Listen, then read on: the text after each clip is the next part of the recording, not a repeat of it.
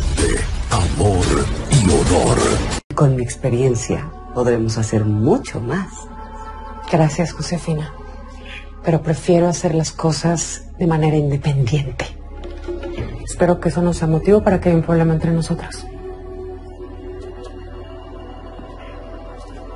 Hasta luego, amiga. Adiós. Gracias por todo. Hablamos. Hasta luego.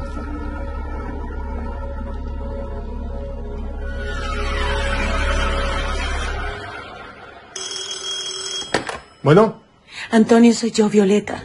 Necesitamos vernos. pasó, princesa. Es, es que ahora no puedo.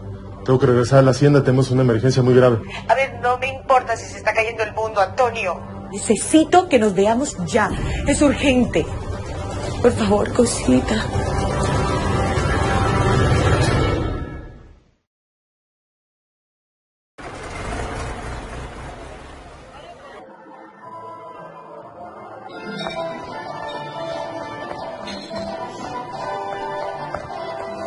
Princesa, ¿qué pasó? ¿Estás bien?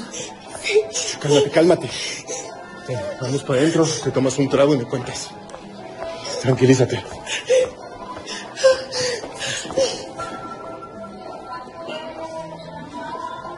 Este lugar esconde secretos muy peligrosos.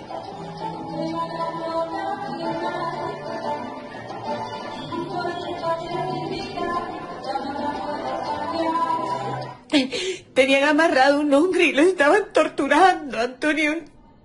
Y ese hombre tenía una mirada, no sé, me miró con, con esa cara de terror, como nadie nunca me había visto. Y yo... Ya, tranquila, princesa. Tú lo que tienes que hacer es no meterte en los asuntos de tu marido. Eso tienes que hacer. Pero es que tú no me entiendes, Antonio. Yo estoy así porque pensé que toda la herencia de Vicente era por los hoteles. Aunque luego empecé a sospechar que había algo más. Pero no sabía que era esto. Esto es muy fuerte. Sí, sí, yo lo sé. Pero te voy a dar un consejo. Deja tranquilo a Vicente. Hey, es un hombre muy peligroso. Tú siempre me has dicho lo mismo. Y creo que ahora caigo en alguna cosa muy importante que, que a lo mejor tú sabes a qué se dedica Vicente y no me lo has dicho, ¿verdad? No voy a decirte nada más. Me lo vas a tener que decir, Antonio. Y ahora mismo. ¿Sabes por qué? Porque yo tengo todo el derecho de saber a qué se dedica mi marido. Dímelo. Anda. ¿A qué se dedica Vicente, Antonio? Ay, princesa. Mira, lo que te puedo decir es que aquí en mi changarro nos enteramos de todos los negocios ilícitos de la ciudad. Y bueno, hay rumores, no te lo puedo confirmar al 100%. Pero que me da igual. Deja de dar tanta vuelta y ve directo al grano. ¿A qué se dedica Vicente? Dímelo ya. Dicen que el hotel de Vicente es un lavadero de dinero. Que el principal negocio de tu marido es el opio.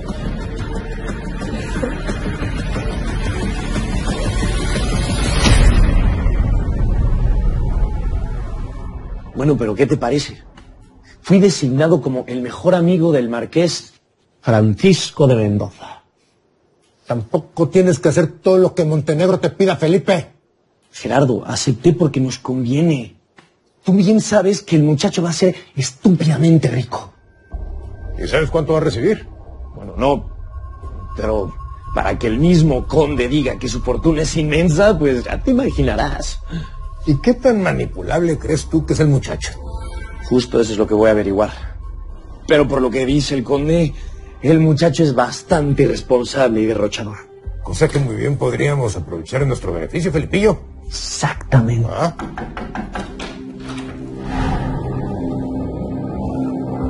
El señor Joel Ortega que le trae el informe que le pidió. Pásele, don Joel. Por favor, pásele, pásele. Con permiso, señores. Buenas tardes. Por fin vamos a ver quién es realmente el conde de Montenegro.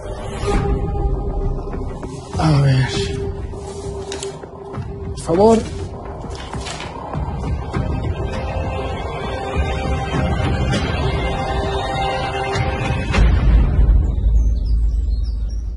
Estoy muy feliz de verte. Me trajiste pastelitos. Eres un. Como ya no supe de ti, vine a buscarte ayer. Te estuve llamando. Pero tu abuela y tu papá contestaban, entonces mejor colgaba.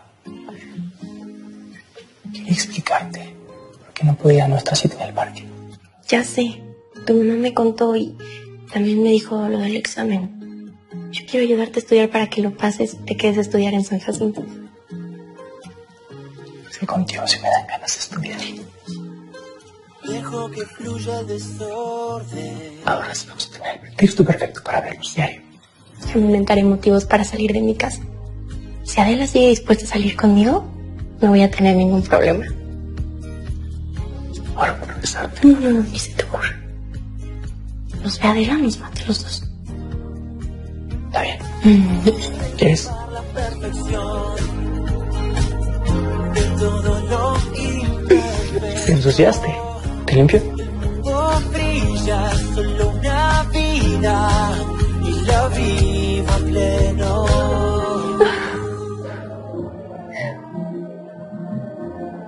No, no, eso no puede ser verdad. Vicente se dedica a los hoteles. Con eso hice su fortuna, no por nada más. Es- Puede ser. No, esos negocios que dices tú, los hoteles y todas sus cosas, son una pantalla. Es el disfraz perfecto para sus negocios ilícitos. Es que no puede ser. Vicente no se puede dedicar a eso, si no yo me hubiera dado cuenta. Es que cómo no me di cuenta antes. Tranquila, princesa. Siéntate, siéntate. Tú nada más te dejaste pantallar por el dinero de Vicente, es eso. Tampoco te importaba de dónde venía la fortuna de tu marido. No, ¿Por qué crees que tiene tanta vigilancia? Bueno, no sé, por nuestro hijo, la- las, las, las, las hijas de él, yo misma, no sé. El lío de esto es que si, si Vicente es lo que tú dices, es que estamos corriendo peligro, ¿verdad? No, no, no, no, no. No estás corriendo peligro. No. Vicente no es capaz de hacer nada. Ni a ti ni a tu hijo.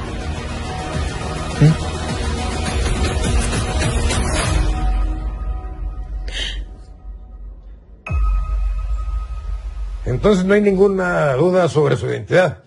El conde no es ningún farsante ni ningún pelagato fingiendo ser de la nobleza. No, ninguna.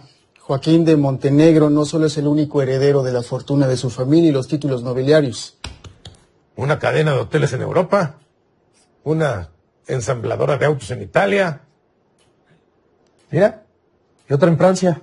Y esta lista, don Joel. Ah, esas son las propiedades que tiene en Europa, en Asia y en el norte de África. Ah, ¿Tiene parientes? No, no, no, al parecer todos murieron durante la guerra.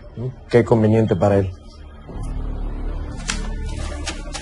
aquí dice don Joel que su fortuna se incrementó considerablemente durante la guerra. Así es. Al parecer Montenegro traficaba con armas para los alemanes.